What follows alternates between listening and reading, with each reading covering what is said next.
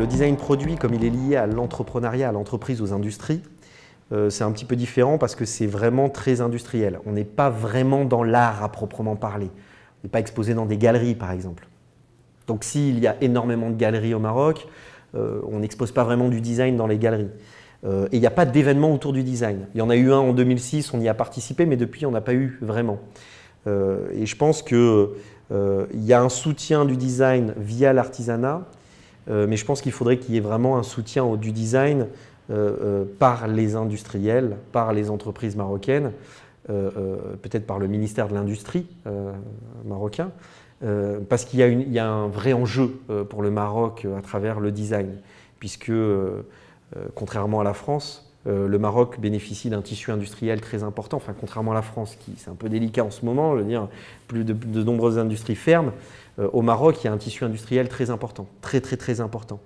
Euh, euh, donc c'est vrai qu'il faut valoriser cette industrie-là euh, en, justement en, les soutenant dans des projets de recherche et développement, de, création de nouveaux produits, d'innovation parce qu'on sait très bien que c'est par la création et l'innovation qu'une une entreprise peut survivre, voire même se développer de façon importante. Et puis même pour un pays, je veux dire, quand on voit pour donner encore un autre exemple français, quand on voit le rayonnement de Stark à l'international, euh, ça, bénéficie aussi à la France en termes d'image euh, et des entreprises françaises, puisqu'il valorise aussi à travers ses créations des entreprises françaises. Donc je pense que dans le monde arabe, on a besoin aussi de ça. Et le design, c'est quelque chose de très contemporain, c'est quelque chose de très nouveau. Donc euh, je n'ai pas un regard critique en disant oui, ils ne font rien, il faut faire. Mais je pense qu'il y a plus à faire parce que c'est très important, c'est un enjeu extrêmement important, euh, mais qui s'inscrit dans une dynamique. Je pense que le fait que le design soit présent à travers mes créations à l'Institut euh, du monde arabe, c'est un signe.